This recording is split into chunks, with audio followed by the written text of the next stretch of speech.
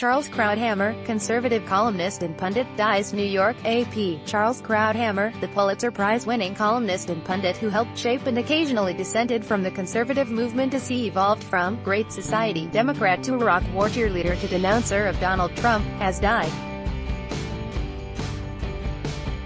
He was 68. Ad Choice Advertising and Red invented by Teads. His Thursday death was announced by two organizations that were longtime employers, Fox News Channel and The Washington Post. Krauthammer had said publicly a year ago he was being treated for a cancerous tumor in his abdomen and earlier this month revealed that he likely had just weeks to live. I leave this life with no regrets. Krauthammer wrote in the Washington Post, where his column had run since 1984. It was a wonderful life, full and complete with the great loves and great endeavors that make it worth living. I am sad to leave, but I leave with the knowledge that I lived the life that I intended advertisement sometimes scornful, sometimes reflective, he was awarded a Pulitzer in 1987 for his witty and insightful commentary and was an influential voice among Republicans, whether through his syndicated column or his appearances on Fox News Channel.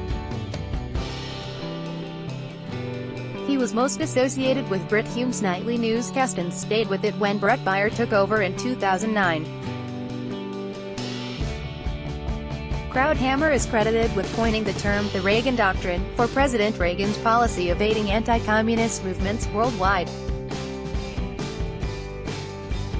He was a leading advocate for the Iraq War and a prominent critic of President Barack Obama, whom he praised for his first-class intellect and first-class temperament, and denounced for having a highly suspect character. Krauthammer was a former Harvard medical student who graduated even after he was paralyzed from the neck down because of a diving board accident, continuing his studies from his hospital bed.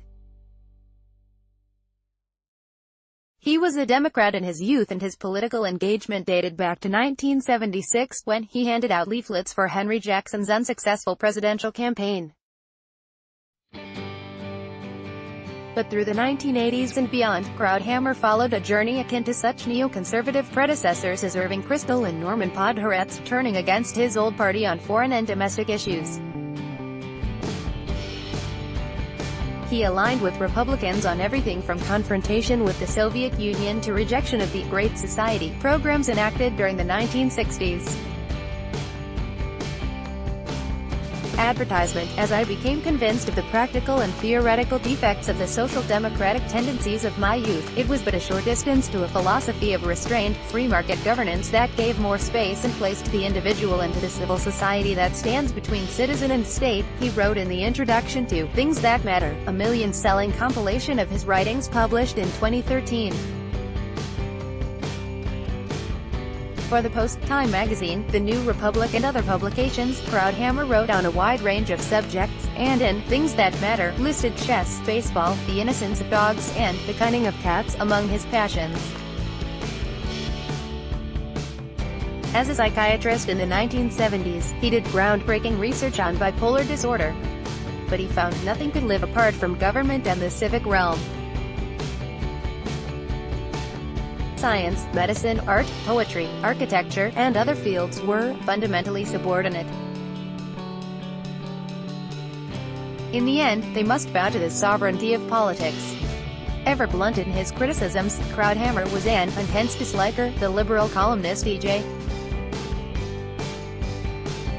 Dionne told Politico in 2009.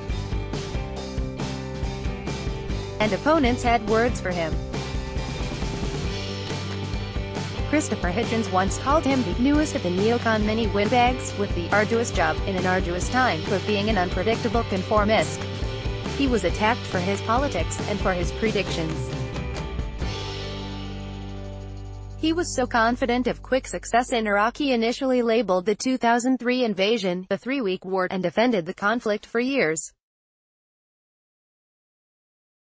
He also backed the George W. Bush administration's use of torture as an uncontrolled experiment carried out, sometimes clumsily, sometimes cruelly, indeed, sometimes wrongly, but successfully. It kept his safe. Advertisement and the former president praised Krauthammer after hearing of his death. For decades, Charles's words have strengthened our democracy. George W. Bush said in a statement. His work was far-reaching and influential, and while his voice will be deeply missed, his ideas and values will always be a part of our country. Krauthammer was sure that Obama would lose in 2008 because of lingering fears from the SEP. 11, 2001 attacks, and foresaw Mitt Romney defeating him in 2012. But he prided himself on his rejection of orthodoxy and took on Republicans, too, observing during a Fox special in 2013 that, if you're going to leave the medical profession because you think you have something to say, you betray your whole life if you don't say what you think and if you don't say it honestly and bluntly. He criticized the death penalty and rejected intelligent design as today's tarted-up version of creationism. In 2005, he was widely cited as a key factor in convincing Bush to rescind the Supreme Court nomination of the president's friend and legal advisor Harriet Miers, whom Krauthammer and others said lacked the necessary credentials. and he differed with such Fox commentators as Bill O'Reilly and Laura Ingraham as he found himself among the increasingly isolated, never-Trumpers, Republicans regarding the real estate baron and former apprentice star as a vulgarian unfit for the presidency. I used to think Trump was an 11-year-old and undeveloped schoolyard bully, he wrote in August 2016, around the time Trump officially became the Republican nominee. I was off by about 10 years. His needs are more primitive, an infantile hunger for approval and praise, a craving that can never be satisfied. He lives in a cocoon of solipsism where the world outside himself has value, indeed exists, only insofar as it sustains and inflates him. Trump, of course, tweeted about Krauthammer, who pretends to be a smart guy, but if you look at his record, he isn't. A dummy who is on too many Fox shows. An overrated clown. Krauthammer married Robin Trethewey, an artist and former attorney, in 1974. They had a son, Daniel, who also became a columnist and commentator. The son of Jewish immigrants from Europe, Krauthammer was born in New York City and moved with his family to Montreal when he was five, growing up in a French-speaking home. His path to political writing was unexpected. First, at McGill University, he became editor-in-chief of the student newspaper after his predecessor was ousted over what Krauthammer called his mindless, humorless Maoism. In the late 1970s, while a psychiatric resident at Massachusetts General Hospital, a professor with whom he had researched manic depression was appointed to a mental health agency created by President Jimmy Carter.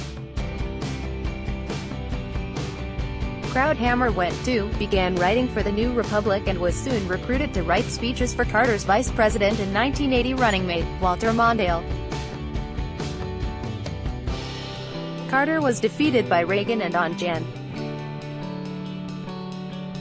20, 1981, Reagan's inauguration day, Krauthammer formally joined the New Republic as a writer and editor. These quite fantastic twists and turns have given me a profound respect for serendipity, he wrote in 2013. A long-forgotten, utterly trivial student council fight brought me to journalism. A moment of adolescent anger led me to the impulsive decision to quit political studies and enroll in medical school. A decade later, a random presidential appointment having nothing to do with me brought me to a place where my writing and public career could begin. When a young journalist asks me today, how do I get to a nationally syndicated columnist, I have my answer. First, go to medical school, underscore underscore underscore underscore AP television writer David Bauder contributed to this report. By Taboola by Taboola Sponsored links Sponsored links Promoted links Promoted links. You may like Vikings, free online game Play this for one minute and see why everyone is addicted. Vikings, free online game Undofar for 2 minutes and see why everyone is addicted drone. Free online game Undabab language expert shares the secret to learning a language in 20 minutes at Debabalindo iCandy Top 20 Most Expensive Dogs in the World iCandy Indo at Rizapti 20 Most Generous Billionaires in the World Afrizapundo.